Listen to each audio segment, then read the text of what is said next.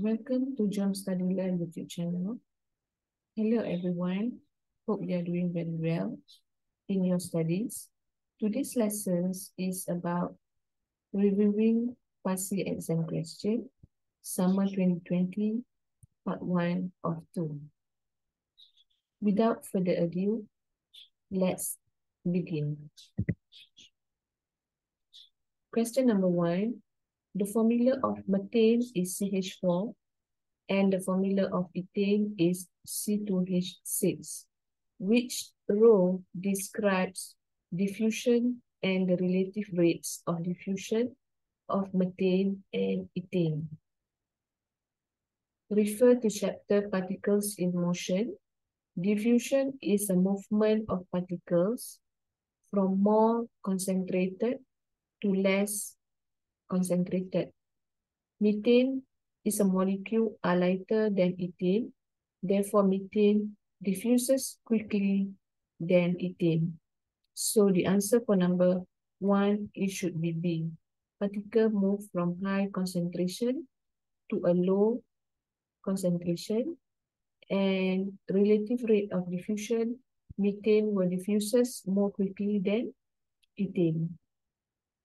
Number two, which test is used to show that a sample of water is pure? Testing for pure water, pure water should have a boiling point of 100 Celsius. If we heat a liquid and it begins to boil either below or above 100 Celsius, so the liquid contains impurities. So the answer for these questions would be heat the water to check its boiling point. Number three, chromo chromatography is used to separate and identify the component in both colored and colorless mixtures. For colorless mixtures, the chromatogram has to be treated with another chemical. What is the name of this type of chemical? A locating agent is used to analyze colorless substances in paper chromatography. So it is generally a chemical that react with the colorless substances in order to form colorful products that are visible for inspection purposes.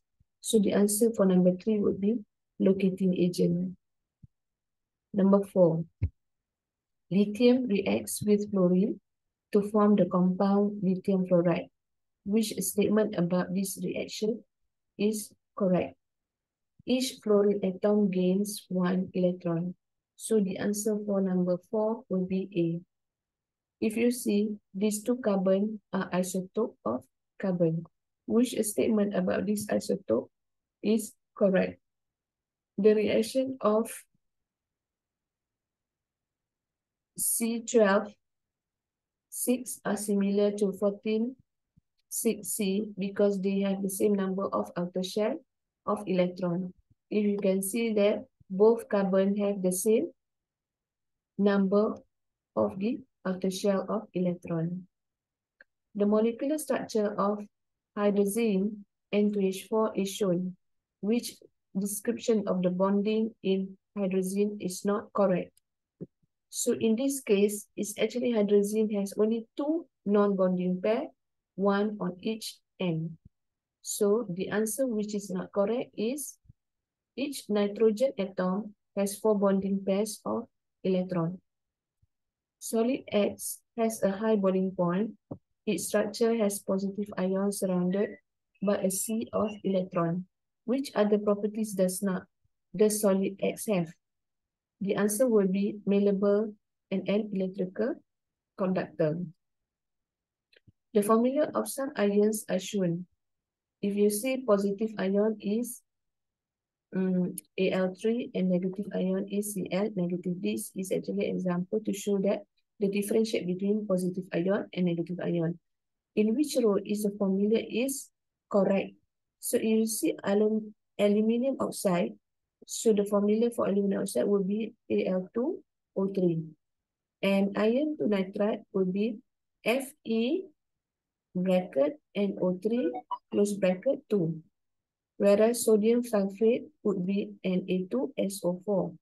and zinc nitrate would be Zn in bracket NO3 close bracket 2. So the answer for this, which is formula not correct, will be B. The equations for the decomposition of magnesium nitrate is shown.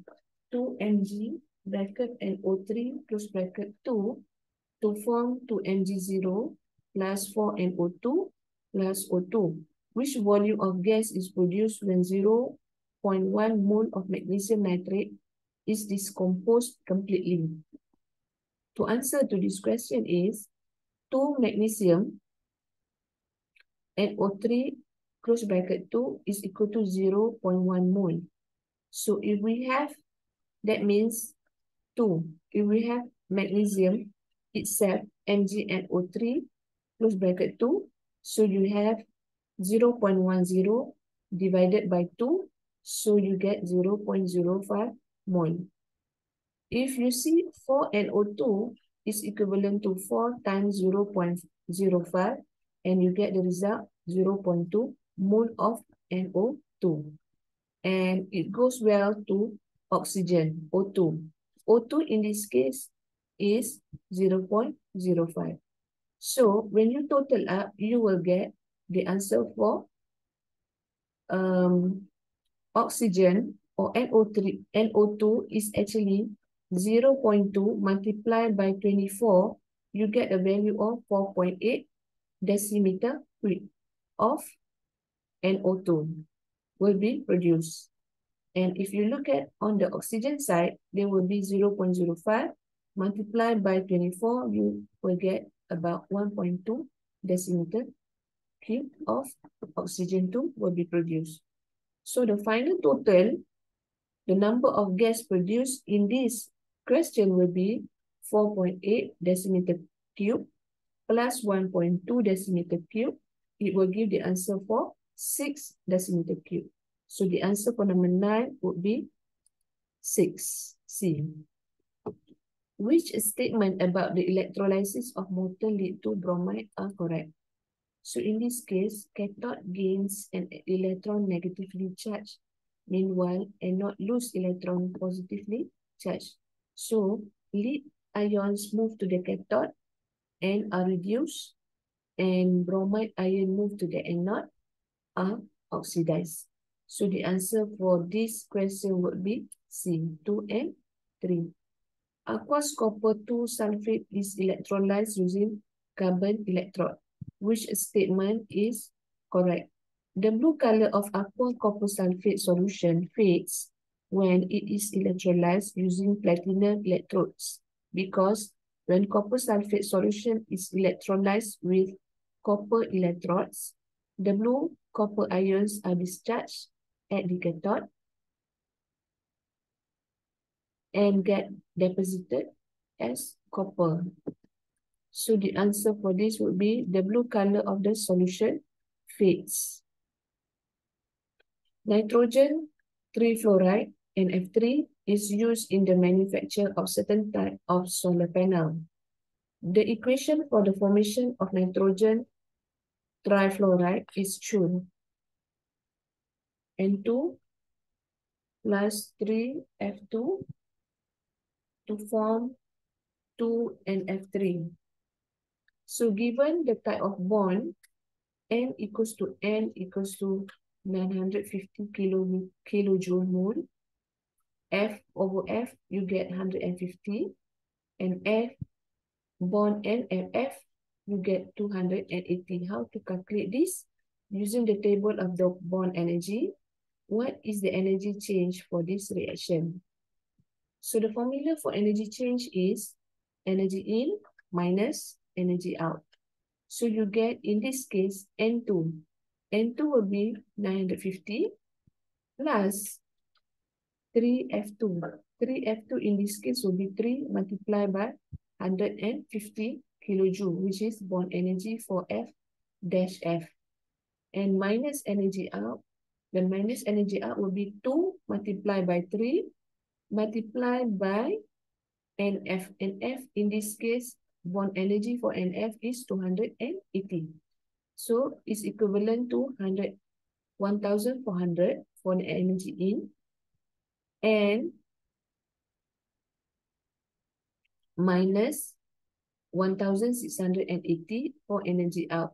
So the answer for this question would be minus 280 kilojoule per mole. So question number 12, the answer for question number 12 would be B. Which statement about hydrogen fuel cells are correct?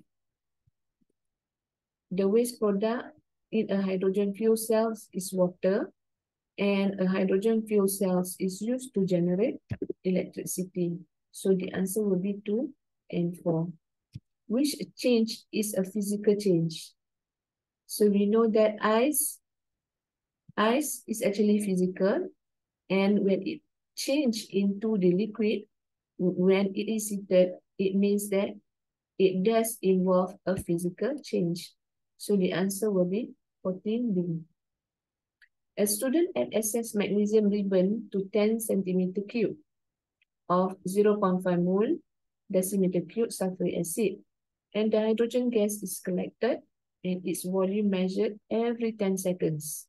The experiment is repeated using the same mass of magnesium ribbon with 5 centimeter cube of 0.5 mole decimeter cube sulfuric acid added to 5 centimeter cube of water which graph show the result of the second experiment. So in this case, number 15, it gives the answer of D, which have the volume of hydrogen would give the result of 50 and the time taken will be um, around 100 times per second. An equilibrium reaction is shown N2O4 react to produce 2NO2 and on the other hand is 2NO to produce N2O4. The forward reaction is endothermic and what is the effect of changing the temperature and pressure on the equilibrium position? So the answer for this question would be C. When it's increasing temperature, it moves to the right. And when there is increasing in terms of the pressure, it moves to the left. And in which reaction is the underlying compound acting as a reducing agent. So for the question number 17, we give the result of B. X, Y, and Z are outside of element in the same row of the periodic table. Some information about each oxide is shown. X is soluble in water. Ability to neutralize an acid? No. And ability to neutralize an alkaline is yes, able. And whereas oxide Y is in terms of solubility in water is insoluble, ability to neutralize an acid is able, and ability to neutralize an alkaline is also able. And uh, oxide Z in terms of solubility in water is a slightly soluble. Ability to neutralize an acid would be able, and ability to neutralize an alkali not able. So it answer which type of oxide are X, Y, and Z. And for this, X is actually more or less, it shows that this soluble in water and this oxide is under category of acidic. And Y is category of amphoteric and Z is category of basics. And four different acids are dissolved in water, which beaker contain the most concentrated strong acid solution. If you can see that in this category A, it consists of about six zinc and also six of hydrogen. Okay, which is con uh, contributed to the most concentrated strong acid solution. The following substances can be reacted together to prepare salt. So, among the three, which do you think the reactions of two products or items in terms of preparing preparing the salt that produce the salt. So in this case, when the combination of hydro hydrochloric acid and with the excess of zinc carbonate, it will produce uh, so-called the product, the end product is a salt.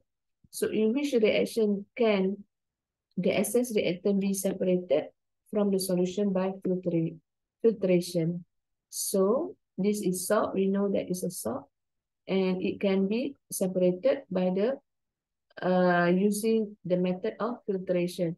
So the answer would be is actually the reaction between hydrochloric acid and essence zinc carbonate. So the answer will be number three. With that being said, I wish all the best in your studies.